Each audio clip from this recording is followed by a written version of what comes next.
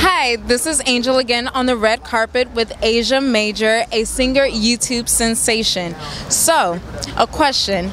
Um, if you would give any advice to young people involving singing or YouTube, what would it be? Um, don't give up. No matter how many no's you hear, if you believe in yourself, continue going. And always stay prayed up. Because Jesus is the best friend you could possibly have in this type of business. So, yeah. Right.